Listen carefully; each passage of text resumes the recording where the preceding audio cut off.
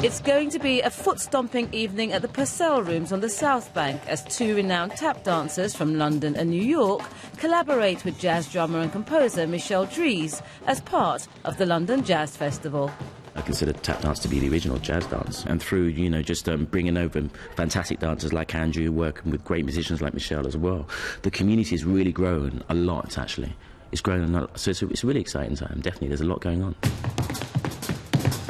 to be able to come to a foreign country and be able to share a craft that I've been blessed to receive from many of the masters who were around in the 20s, 30s, and 40s um, is, is a true blessing and honor.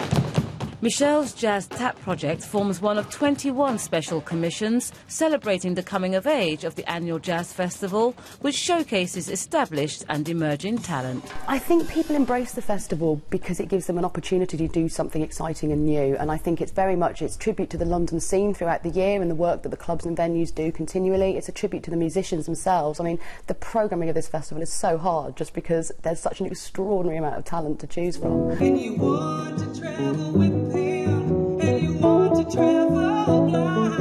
Christine Tobin has been a part of the London jazz scene since the 1980s. The award winning vocalist will be showcasing her forthcoming album of reinterpreted Leonard Cohen songs at the Purcell Rooms London's such a great tourist place, it's a huge attraction for the capital. So for me, it's exposure to people from all over the world. With over 280 performances in 60 venues across the capital, audiences are taken on a journey that delves into the past, present and future of jazz.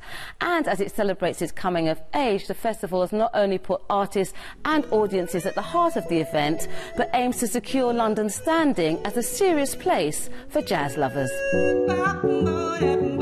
The EFG London Jazz Festival runs until Sunday. Brenda Emmanuel, BBC London News.